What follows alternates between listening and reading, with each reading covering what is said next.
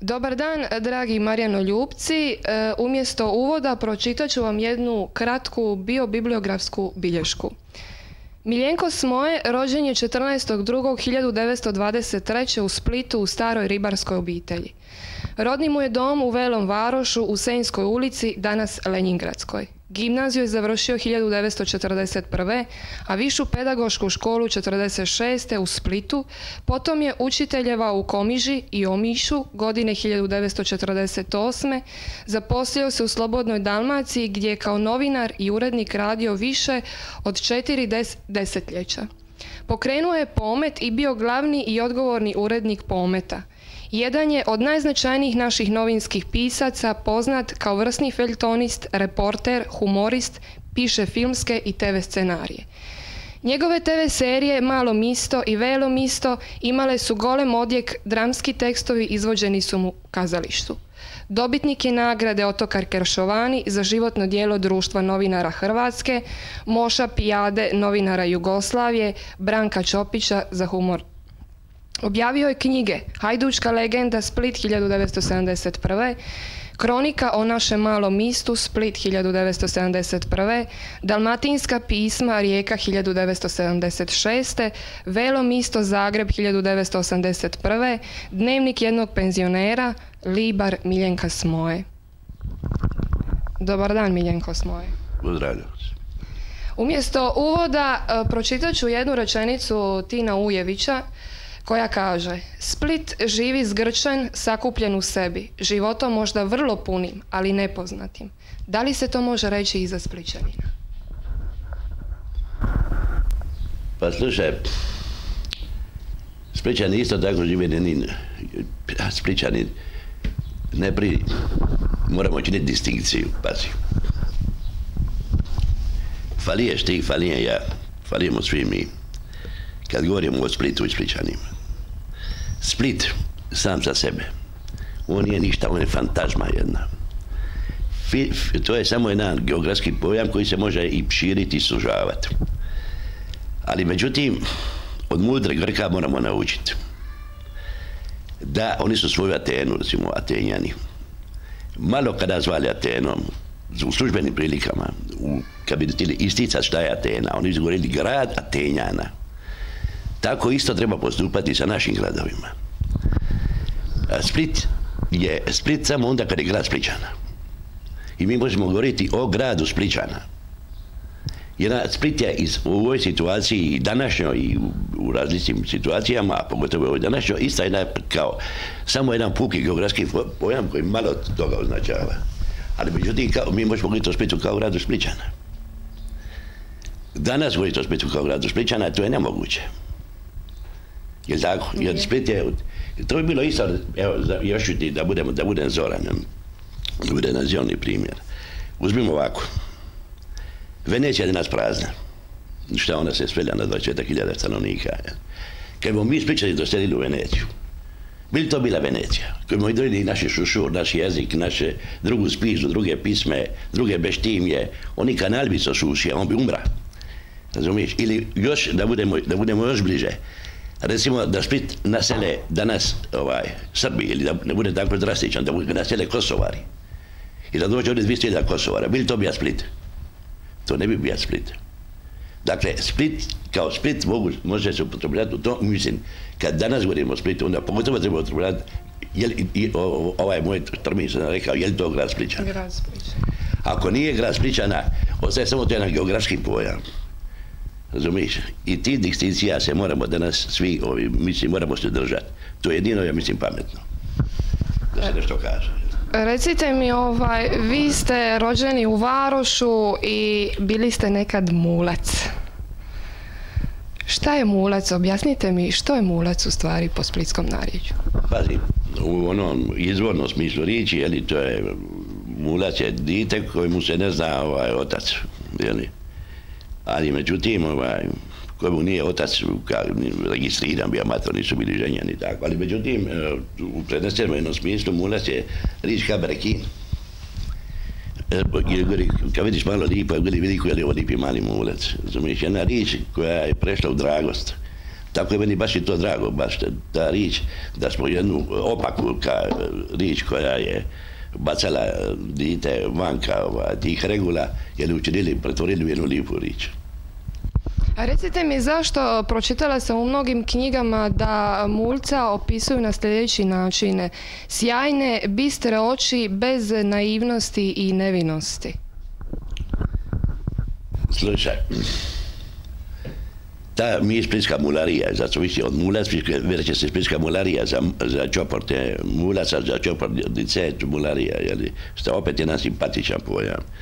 Ta splitska mularija može biti živeći u tim prostorima, to on sigurno gleda ove Dokresjanovu palaču, ona get poko peristila, razumiješ, dica zaista imaju te jedne pomalo vlažne, znači ovaj, e, e, tugaljive poglede, razumiješ, ali bistre, razumiješ.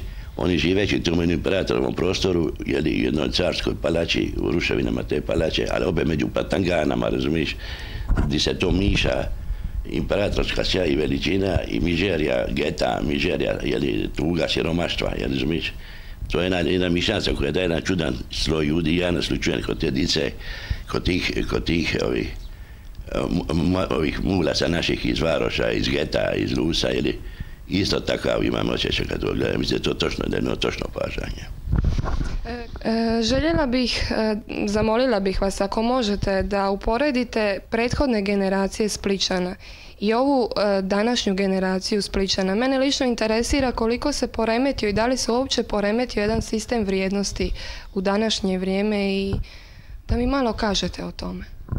Slušaj, sistem vrijednosti se poremeti, a ne samo u Split, nego u cijelom svijetu. A opet se vraćamo na isto. Ti meni govoriš o generacijama Spličana.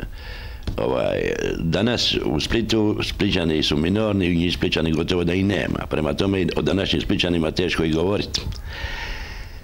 Jer, jer ovaj, mislim, kao stanovnicima, današnjim stanovnicima Splita koji nisu bili, ovaj, koji nisu Spličani, razumiješ? I o njima govoriti, a da to ne bi tije jer nisu spličani. Mi sad ti meni pitaš o spličanima, o generacijama spličana. Ja se izvinjam, znači da, da e, nekako za spličane možemo reći da je jedan umirući svijet. Jedan svijet koji, koji zaista koji nestaje, pa to se vidi najbolje da li sada u općinskim strukturama nema ni na, ni na jednoj funkciji, ni na jednom odgovornom mjestu, nema ni jednog jedinog spličanina jeli, ovaj, od presjedi, od tih referat, što znam što se to sve ta struktura zove, deli da je to, jeli, ni jednog jedinog spličana, to je tako jedan brutalni, surov, surov potez, jeli, koji ja uopće ne mogu, ne mogu objasniti, jeli. To je tako ovaj, jedan postupak koji potpuno negira sa službenog mjesta, negira postojanje spličana. Oni su mogli bar nekog pijateta prema gradu, prema tomu gradu u koji su selili izabrati nekoga na, ovaj, na, na, na to jedno odgovorno mjesto u, gradu. To je totalna negacija grada. E, znate šta, e, ne, bi, ne bih se... Slušaj, što se opet tiče recimo generacije, možemo govoriti, mogu ti govoriti recimo o starim splitskim težacima, o starim splitskim ribarima. Mogu ti govoriti, ja, može biti interesantno, je li kad počinje taj jedan intelektualni, jedan promjena intelektualna života i inače društvenog života u gradu, jeli? Recimo ja bi tu ja bi tu počeo recimo označio bi ti početak 20. 20. stoljeća kao jednu prelomnicu kad naši, kad naši ovaj, splitski studenti gredu usvit, jeli, do, recimo ja gotovo do, do početka 20. 20. stoljeća Split žive jednim ustaljenim ritmom, možete reći srednjovjekovnim, jeli, a tek onda, jeli, početkom 20. stoljeća naši studenti prvi pogled u, u Pragu, u Gracu, u Padovu tako miču se, razumiješ, i donose neka nova saznanja, a šta je naročito važno, naročito važno, donose šport. Šport je, ovi studenti koji znali šport, koji znali i veslanje, i vaterpolo, i, ova, i balun, i tenis, lavni tenis su ga zvali, razumiješ, oni su uspravili uspravili toga Spličajna koji je e, igrao, kakav u nas igrao one ploke i nije, nije nikakve igre ima, da je pogrbljen. Naučili su ga orit, naučili su ga mislit. Šport je odvija Split, uh, Split u svit. Naučili su geografiju, naučili su šta su hoteli, šta su vapori, šta su ferate. Razumiješ? Jer mi otkrivamo svit, pazi, mi od Spliča, Spličani su možda kao pomorci, ka, jer su bili vezani rodima i morom, jel, a, naša fala gospu i danas ovaj, nemamo veze sa zaleđem, imamo jako primitivne te veze faratom putovima, nemamo i Oni su znali za Triješt, oni su znali za New York. Ali nisu vjerovali, tek prvi svjetski rat je otkriva tamo neke Slavonije, neke Panonije, gdje resti žito, gdje ima, u ratu gdje ima spise. To je bilo jedno iznenađenje, golemo, jeli, kad slušavali di su tamo da ima biloga kruva, niti tamo u Slavoniji. Jeli. Dok su znali za New York, oni su znali za Slavoniju. E, moram vas nešto pitati. To je pitanje koje mene intimno muči i interesira me baš odgovor e, na to pitanje. Mnogi su e, pisci pisali o tim sukobima između Furešta, Talijanaša, Slavena i tako dalje. Ja ne bih da zalazimo puno u prošlost, ali možda da povežemo sa prethodnom vašom konstatacijom. Stalno se spominje, recimo, E, još Toma Arhiđakon je li piše o tome i govori o tim Slavenima koji su počeli kao podložnici. Međutim, da su se izdigli da su se izdigli uz pomoć e, agresivnosti Skorojevića i neke e, biološke nadmoći, odnosno da se sve te pridošlice, svi ti ljudi koji dolaze, prolaze, ostaju u Splitu, nazivaju zdrava krv. Ali zašto? To mi, to mi neće biti jasno. Slušaj, po svojoj prici je bilo, tako da se ne vraćamo u ti davni srednji vik i ovaj, kad su u gradovima bili samo ti ovi, ostaci tih ilira, latina i tako dalje, okolo je bilo hrvatsko, slovensko, hrvatsko okruženje jer i normalni komunikacijski tokovi grade zavisija od polja, polja od proizvodnja ovi, zanatlija i tako dalje, trgovine koji su gradovi komune te imali, razumiješ, li moralo je doći do te amalgacije, do, povezivanja i ovaj, do jednačenja, li tako naši gradovi su odavno, recimo, ovaj, hrvatski, hrvatski, hrvatsko, hrvatsko stanovništvo ovaj, ih naseljava i daje im timbar, jel? A ovi se gotovo, jeli, ovi se totalno izgubili, možda bi tamo genima nešto da je ostalo kod nekih familija, ali totalno su, totalno su nestali. Šta smo ono htjeli reći, smo govoriti? Zdrava krv. A, o zdravoj krvi. I sigurno su oni, pazi, ove stare gradske familije, ja pratim ove splitske familije, oni su sa jako malo dice, oni gotovo, oni, onaj, oni gotovo izumiru. Oni su sigurno biološki daleko ovaj, nadmoćniji nad nama koji smo već istrošeni, ovaj, gradske familije koje već vuku, jeli, ovaj, sa, sa vikovima po, po Splitu, jeli. Tu vidiš jako malo dice, jednu jedno povlačenje, reću, gotovo u groblja. E, primjećujem inače da su se Spličani strahovito povukli. Povukli su se unutrašnje svojih Normalno, stanova. Normalno, ostali su, ostali su tako, tako, ostali su, postali su minorno, postali su jedna manjina, jedna, jedna etnička manjina u svome vlastitome gradu i normalno se plaše i povlače.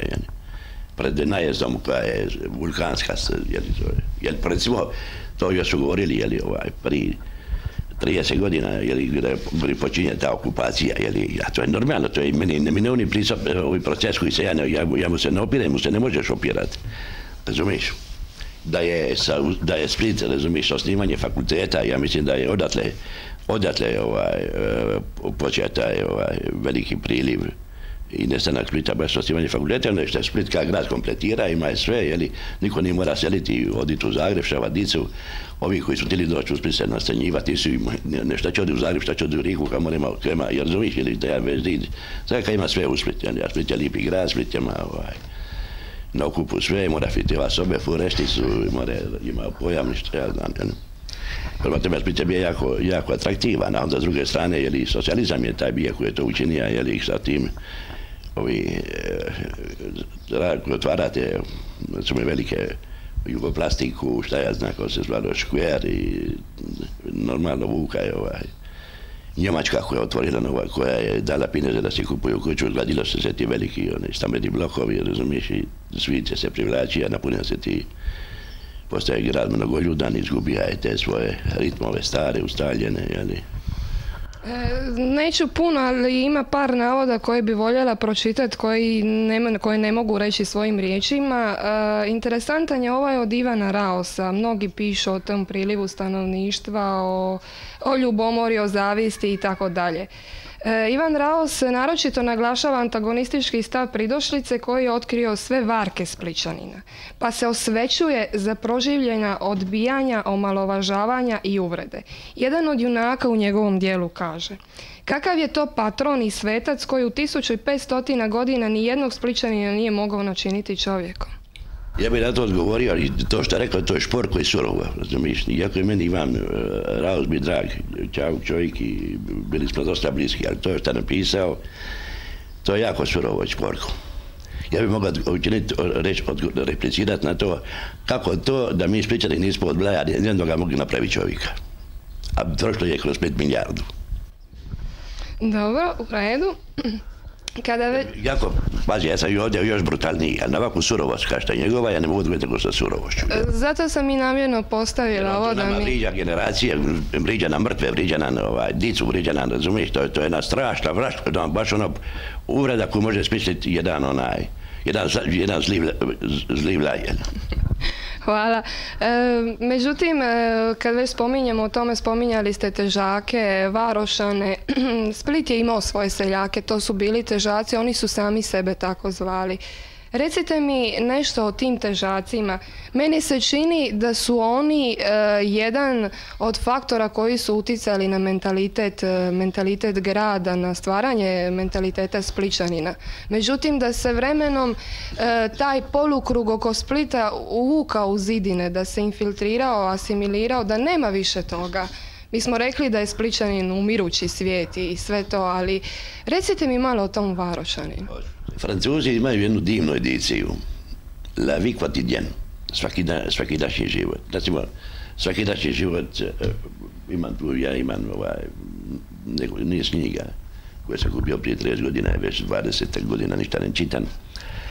Ovaj, di daju svaki dašnji život, recimo, Grčka u vrijeme Perikla, Rima u apologiju cerstva, Judeje za vrijeme Isusa, Francuska 830. Holandija za vrijeme Rembrandt, šta je dan, razumiješ, čitati niz. Di opisuju koje su divne, di opisuju e, svakidanji život stanovnika u, određenoj ovaj, povijesnoj epohi. Daje ti sve. Kako su živjeli, kako su umirali. Teatar, humor, običaje, spizu šta su jeli. I ovaj, tako da ti imaš kompletnu sliku, to je daleko preglednije nego što je pisanje, daleko je interesantnije čitati nego ove bljutave istorije kako se, kako se inače u nas pišu.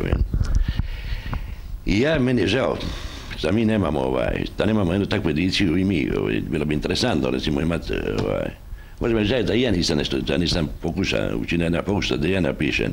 Iako recimo u mome, u mojem velom isto je, ima tih elemenata tega lavi kotidjana svakodnevnog života, razumiješ. I u nas je bilo, u Splitu imati, ima ljudi ti koji mogli to napisati, ona bi mogli napisati onaj, Mogu je napisati, ovaj, kako je izvrsni poznavala Splita, ili isto tako Kudrijacija Čelja, koji je isto tako izvanredni poznavala zgrada. Mogli bi nam eh, pružiti par ne, uh, knjiga da upoznamo ovaj, taj svakidanji život i običaje i, ovaj, stil života ovega našega Splita. Na to što si govorio o težacima, ja sam ovdje nešto pisao o tomu, čini se. Tako težaci i ribari, to je u, ovom romanu ovaj, isto. Težaci i ribari. Te dvije najbrojnije skupine splitskog građanstva nisu se ni marili susret. Ribar, beštimaduri proleteri, koji do smrti, kad ne već u rivnosti stečevinu, čuva guću, to je Maja, na modre rige i kratki kapot od pana, šta bi mu ostavljali nakon što je četiri godine služio carsku marinu, nikako nije moga trpiti težaka jema polja, težak, vinograde, kuću, kočetu, konovu punu vina i po dva i po tri prajca u tezi, a u nedije blagdansku nošnju nosi sa famijom na misu gre, a u konobu s ljudima nikad nije sija i popija vrć vina. Nestriknja, škrta, štirpa, težaška. Gledajući težašku kavalkadu koja se oblacima prašine grabio preko rive, ribari u gajetama se veslima sronjali sve vam krupa tukla, blagoslovena bila peronošpora. ta zla pogubna rič težaku kaštig gore o smrti od pakla, riba, ribaru je zvonila kao najfinija muzika. To je taj antagonizam prikazan između, može biti da sam ga ja malo prenatijega.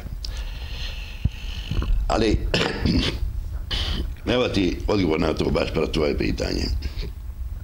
Ljudi u ovemu gradu uvijek su voljeli tvrde, grube, žestoke i opasne riči.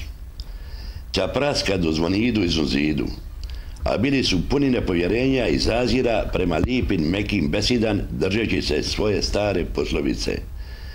Slaka i usta, šporko srce. I kad bi se prijateljski razgovaralo, oparilo je da se karaju. A kad bi se zaista malo zakarali, fore što bi se čajade pripalo i bižalo misleći da će sad sinut noži i krš kropit. Cijeli svoj svog nalazili su u gromovitim besidan i sva otrov koja se u ljudskom organizmu skupi i sidila bi se sa grubim ričima. A lipe, blage riči nisu tili trošit. Čuvali su i kad zlato škrinjice i vadili bi i duperali polako, pomljivo, za ritke zgode i prilike. Čudan je to gradić. Svaki dan i po dan on je kao otvorena pozornica po kojoj život kovitla najraznovrsnije cene.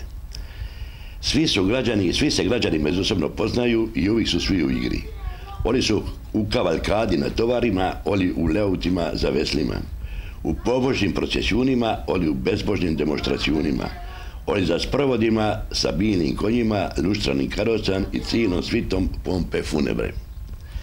Evo i sad u ovu večernju uru kad nima ni sprovoda, ni procesijuna, ni demonstracijuni, na velikoj, uvijek otvorenoj gradskoj pozornici ijade građani igra svoju precizno razrađenu ulogu. Činovnici, obrtnici i ništa študentarije sidilu pred kafanskim štekatima na rivu, a kome od njih zasmeta prašina i smrdu izmotine, što je magreća kolona za sobom ostavlja, primisli će se pred kafanu, na otmeniju pijacu koja se za ludu ne zove gospodski trg.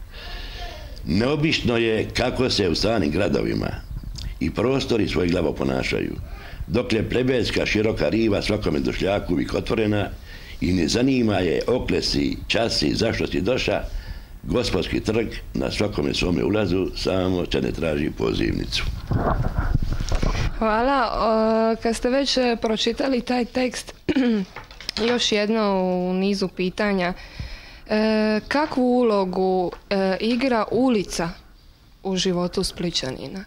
Jer e, opet po mojim iskustvima koje sam mogla steći i čitajući knjige povijesne, primijetila sam i to većina Spličana zna starih da su sav svoj vijek provodili na ulici, blagdani, sudamja i dalje tako da ne dajem primjere. Međutim, to je sve rijeđe i rijeđe ili gotovo nema Ulica je sve. Ulica je bila sve.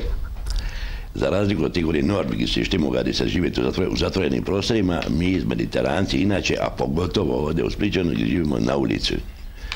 Ulica i ulic, ulica, pijacete, to i, trgovi, jeli, su nama, naše pozornice gdje mi igramo cijeli dan. Za me je glavna karakteristika mediteranskog života a pogotovo, pogotovo splitskoga života i dalmatinskoga, pogotovo splitskoga je ulica ka teatar. Mi cijeli dan igramo igru. Sve što se događa u ulici, to je jedan teatar. Ja sam, recimo, bio veliki moj prijatelj, nedavno umra Šanto. On isto tako bio jedan kolosalni glumac koji se uklapa u igru. Recimo, da ti objasnim, recimo, jednu lijepu anegdotu. Santo se naidija na Borisa Dvornika. Nije ga došla dugo vremena vidjeti, stvarja se kasnije. Ima je doma jednu veliku rašpu, naša je negdje, Ruzinavu rašpu, naša je rašpa, ova, Turpija. I je rašpaljki pojam, sa rašpon je Lukeni, strašni anarkista Lukeni ubija krajicu Eližabetu, probije. I on će, je Lukeni ubija, on će ubiti Borisa, kako ste Lukeni ubija krajicu i čekamo njega, kad dođe, neka ga vidim, gotovo je, zakleću ga. I nije prošlo puno, Boris se pojavljuje na dvo dvora, a Santo čim ga vidija, trče u, u pužinu, nađe u svoju raspu i gre prema njemu, sad će ga ubost. Boris, koji je isto tako spličani, sve zna, jeli. Jeli, sad će ga ubost, a da Boris nema šta, nema izlaza. Jeli, staje, raširija se i zapiva šanto u najdražu pismu, tiko pojte. Počeo pivat. A šanto trče, a kako je ovi uvatija, vidi šanto da mu fali šekondo. I onda ga zagrli i nastaja, maleni slavuji. Rašpa pade, eto, to je ta igra koja se vječno igra. Razumiješ? Ili takvih, ili kad smo se našli dok se rastali, uvijek se izmišlja nove scene, ili gdje se improvizira ta komedija Darte, naša splitska. E, mislim da se sve, e, u sve to uklapa i čuveni mediteranski humor, e, to ruganje. Meni su rekli kada ti se neko ruga onda te i voli. Je li to istina? Ma dobro, je to je podruga, to je tega humora, jeli, ima Mediteran isto živ, vedar, humor se stvara na ulici kod nas, jeli, ja mislim baš to karakteristika, ja sam, mislim, pisao sam dosta tomu, ovaj, splitskome humoru, bavio sam se s njime. Razumiješ, to je jedan ipak interesantan humor on počinje, kako počinje sa hrvatskom pismenošću, počinje i hrvatski humor, ili Marko Malodić, nešto on pisao, pisao je ovaj, onu satiru, te smiješnice svoje, o pogrduše. I pa se nastavlja se kroz srednji, kroz srednji vijek, kroz ti srednji vijek se nastavlja sa tima izrugivanjima, lipili ove, bilo maloga pismenoga svita, ali to su lipili dušparima, jeli, koje su zabavali po zidovima, po nevratima, na, na, zaticali te ova, po grduše. Vidiš tamo ono, u onim, onim pivanjima i napivavanjima, jeli, koji su na pismama koji su se sačuvali, jeli, ova, isto tako, jeli, one su pune humora, jeli, tvrdoga. A, prva koncentracija splitskog humora, pismena koncentracija, mislim je pregršt ušnja, to je početak 20. stoljeća, čim se 1904. Jel? Onda izlaze humoristički listovi, imamo 20. stoljeća, jeli, humorski, humoristički potpuno ovaj, očuvano, jeli, u ovoga, kao se zove. Ba, da nije Balavac. Tu je Balavac, tu je Balavac, tu je Balavac koji je prije svjetskog rata i nastavio se poslije došla i kasnije ovaj standardac između njih je bilo tih sijaset listova, ili to su se smišno štampavali, ovi, oni, ovi naši ovaj, maratonac, oni, kako se zove, Bačo, jeli, ima, ima jedan od tih, ali bilo ti puno ljudi koji su izdavali, stari novinari, kad bi išli u Pešjunka, imali pines, pa bi izdali prigodne, bi šta kupijati broj za pomoć ga. Jeli, ostavili se rukopise gori u redakcija e, u Barbira, u tu i tu Brijašnicu, rukopis ostaviti u Barbira, jeli, u Brijača, jeli, ako živili se, to je na fini, baš to meni drag ti tog života, takav, jeli. Pa recimo tako smo i mi, ovaj, i tega Berekina bili izlazili, jeli, stasali se negdje po konobanu, u kuću, pa nešto, ovaj, isto naslijedili tu tradiciju i baš tako se stvara najbolje list, jeli. Bez tih oficijalnih prostorija, uredništvi, telefoni telefoni. I to se sve stvaralo na ulici, to isto. se sve stvaralo, jer to se sve stvaralo na ulici, događali u kafanama na ulici, pričali, ne, ne, ne, pričali te vice, jer meni se znalo, jer poslije rata dogodi, u Vatrima ispričani, jer ka humorista je za njih bio čovjek mižerjac koji ima dva dinara koji mu trebali isto plati, ali govori, slušaj, ispričat ću ti, govori, dva lipa vica pa zaradi, govori, koji dinar, razumiješ.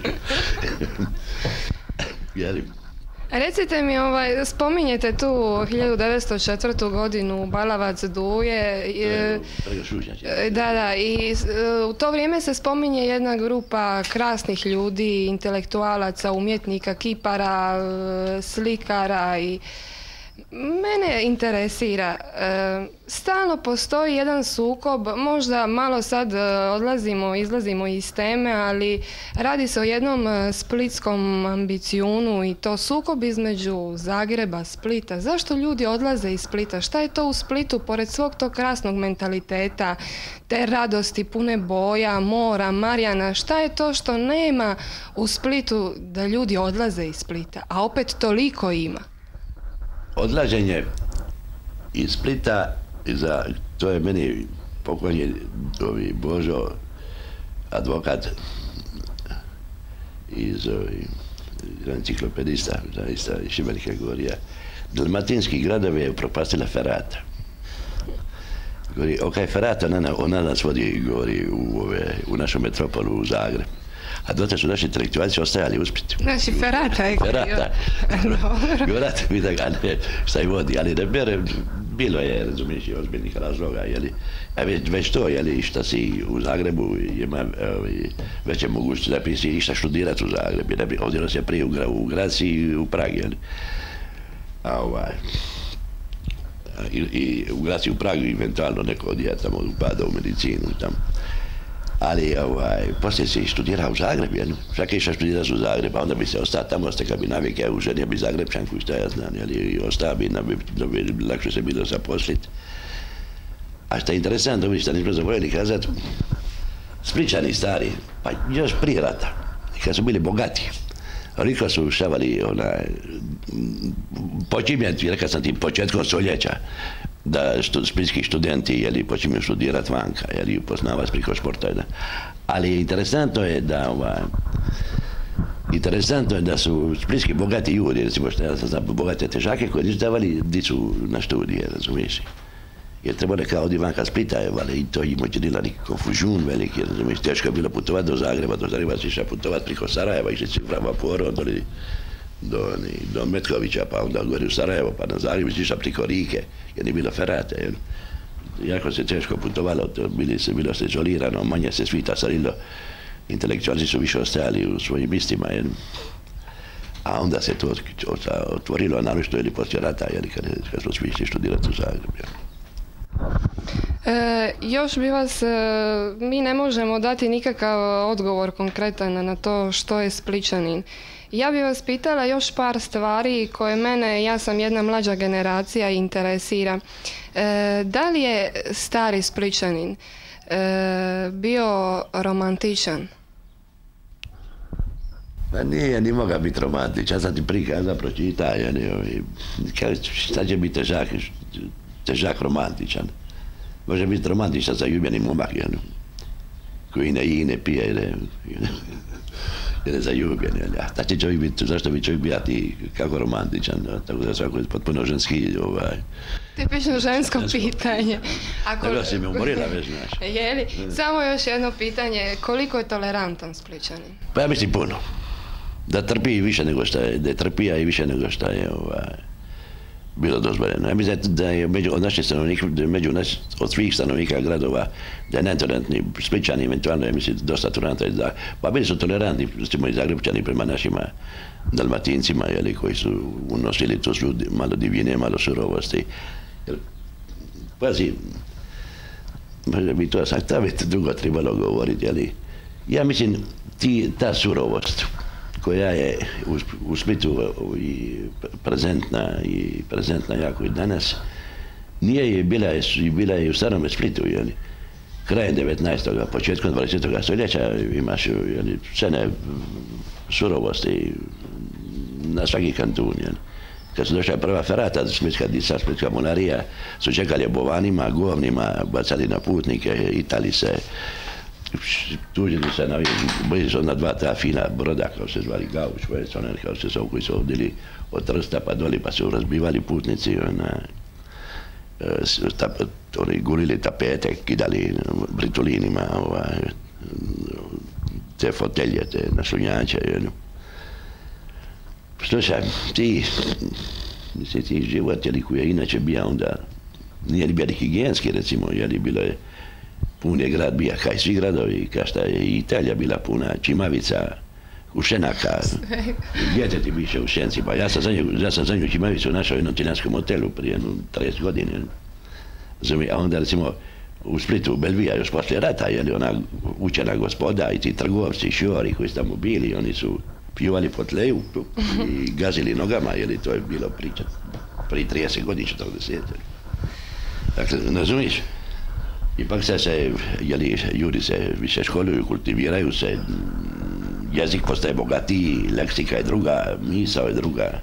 E, htjela sam vas nešto pitati, ali pretpostavljam da sam vas zamorila. Ne bi spominjala sada taj kinderštube i to, ne bi spominjala. Ali vas moram nešto drugo pitati, isto se ovako dotiče svega. O ovoj publikaciji ovdje na vašem stolu što je vidimo. Pola stoljeća Hajduka. E, viš, to, to, to je jedan liber koji smo pisali. Govorili ste o sportu, ali konkretno ova publikacija mi Evo reci. smo pisali prva, ovo je, čini se 50 godina Hajduka, kad je bilo pola stoljeća Je, je, sad, već, je. sad će već biti koliko 80 godina, 80. to je bilo dakle prije 30 godina. Ovo smo pisali ja i doktor Davorin, ja prvi dijel istorijski, on ovi drugi, ovi doktor eh, Davorin Rudolf, mi smo ovo dva skupa radili. I to slučajno sa sinoć izvadi što sam vidjeti, jer sad su ove, bili su ove, peticije evo, za Hajduka, ćemo se skinuti zvizdu, nećemo skinuti zvizdu, da se vrati na grudima, jer je opet ova šahovnica koja je bila na dresu Hajduka, pa ja vrtim ove, išao da vidim baš sliku diću nastu šahovnicu na prsima, međutim nema, ona ima u grbu, nje, ona postoji u grbu, ali evo prva momčada je Duka, šahovnice nema, evo mogu gledam 20. 30. godine, nika, nika, nikakvih ostaka nema, poslije dres je potpuno bijel, nema ničega na njemu, jel, pa mislim da se ne, to je tako tek vidjeti iskori žitadi, da vidi kako se šira ta, jel, ovaj, kako se šire te laži, jel, i kako se, i kako se na nečemu, jel, znaš, Zvijezda je ipak tu negdje. a? Zvijezda je ipak tu negdje.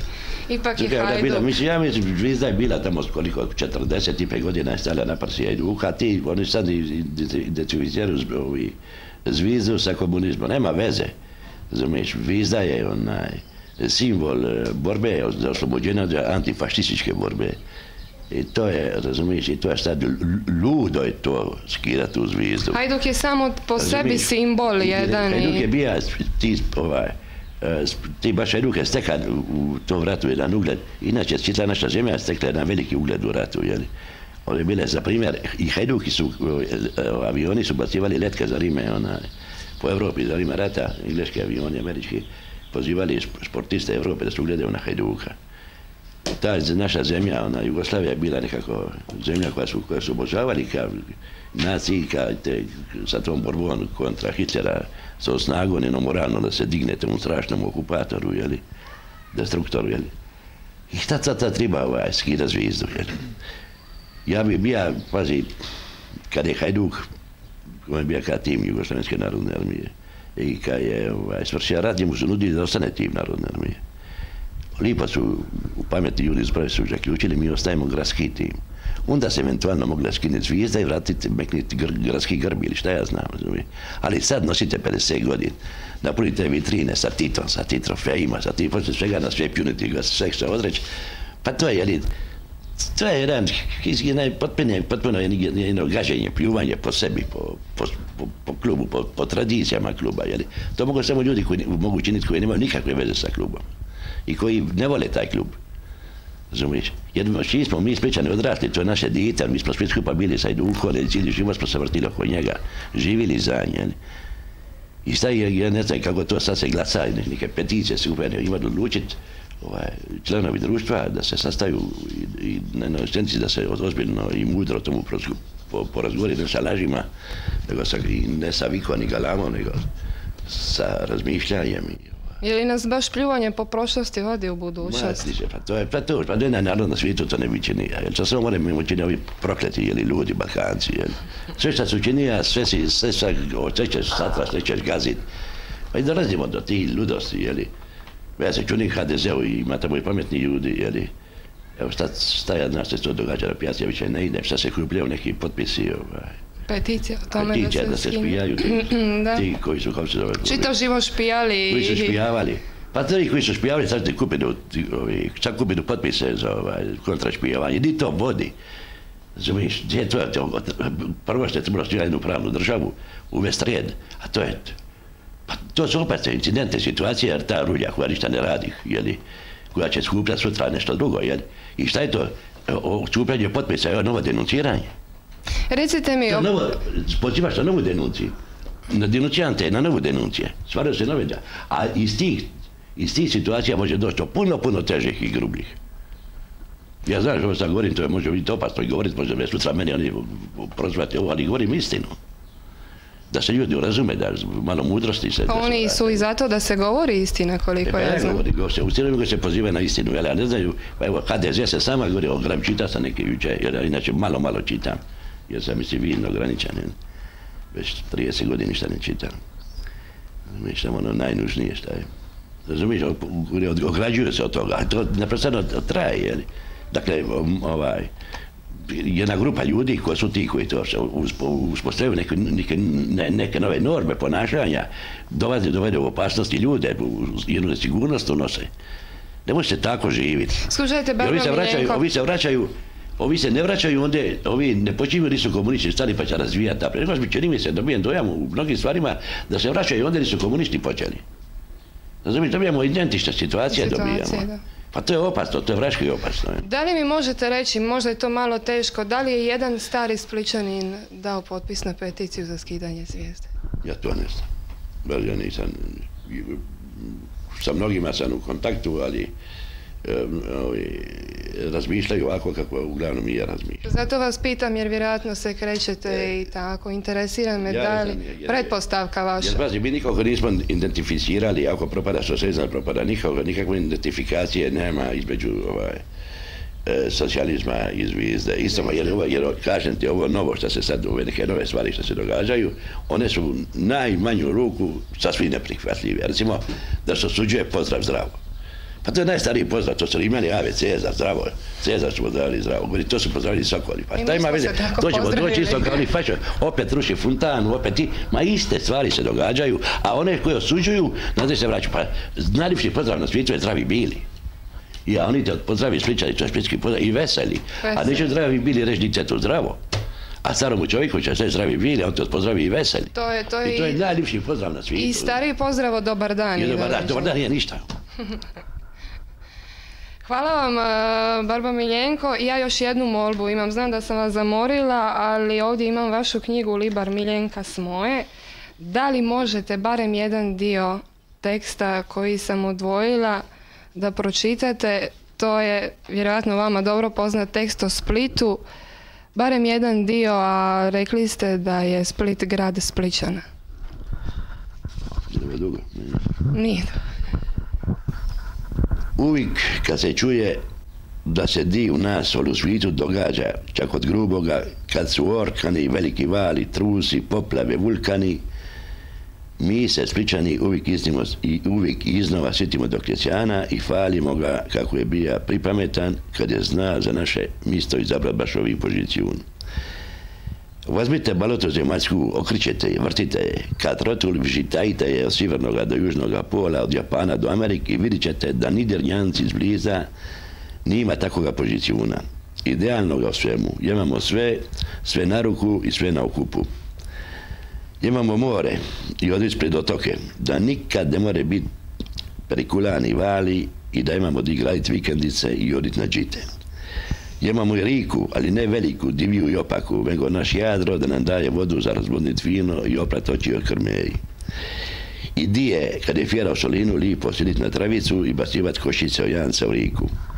Usred grada imamo planinu i to ne divije brdo, nego najlipji uzorak, kapiju brda koji se da zamisliti.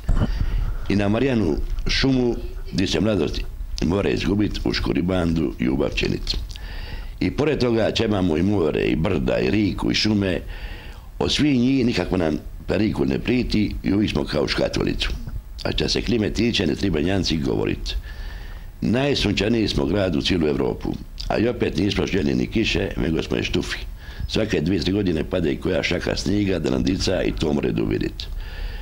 Liti, kad je puno vruće, imamo meštral za razladi se. Bura nam puše da nam očisti ariju ne priti na nikakva pogibenja od trusa jer imamo tle od elastične tupine koja se rastiže kao laštik jedino se moramo malo gingolavati. Da je bilo dati inženjerima da na kartu nasrtadu jedno ovako idealno mjesto ne bi ovo ispalo. Jer bi dočekva zaboravili ili falili. Ne reče se za ludu, nima Splita do Splita. A mi se još tužimo kako je u Splitu sve skupo. Budimo sritni i mučimo jer i bez da uže svi smo vod milijarderi. Hvala vam najljepša, poživjeli nam još dugo. Hvala vam